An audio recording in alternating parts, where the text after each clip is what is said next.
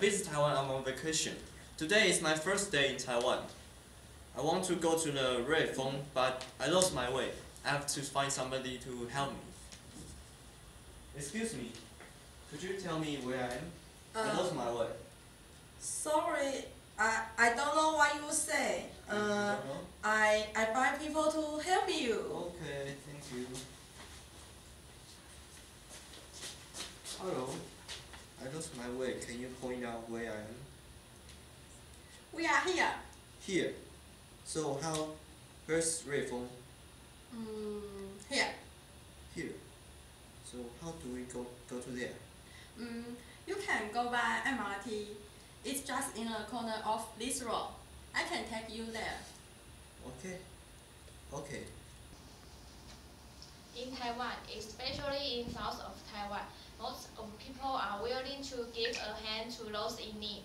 People are very passionate here, so the foreigner usually have a great comment on Taiwanese.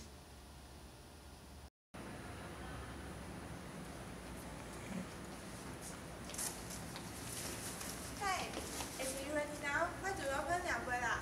Because the sun is blazing and it's so hot. If they only use it on rainy day, it can not only keep out the rain but also shield from the sun. Umbrella is a functional sun protect, and most of Taiwanese women want to let their skin be brighter. Oh, I got it. Do you want to get it? Okay, let's go.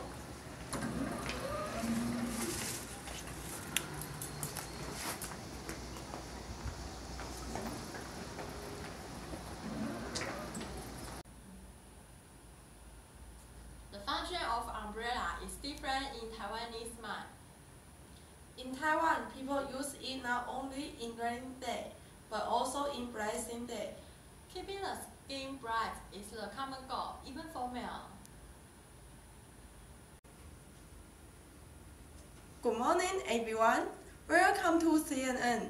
Today is May 10th. At the beginning, we are going to take you to the President Conference. President Ma has something to announce.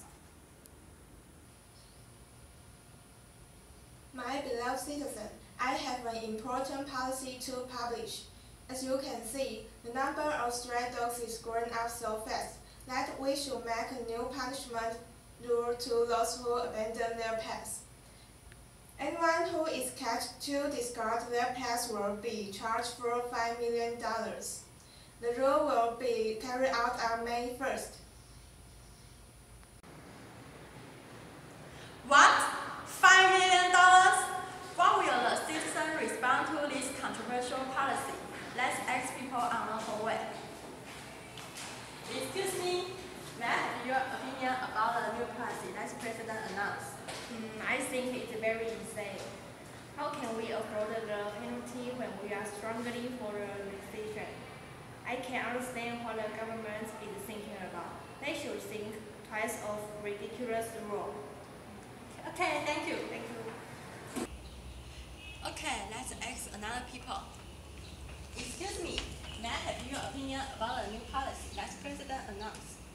It's definitely the best decision the government had ever- made. Just like human, pets have feelings too. How could we abandon them? They're just like our kids. So I think 5 million is not enough to prevent them from being abandoned. I think we should execute those who put away their pets. That's my point of view. Mm, Thank you. And, okay, then we turn to Lily. Okay, thanks for the reporter. It's the news today. See you at the same time tomorrow. Bye.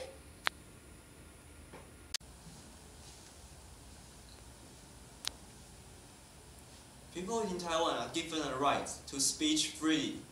Everyone can express what's in their mind. They can blame for everything, even the president.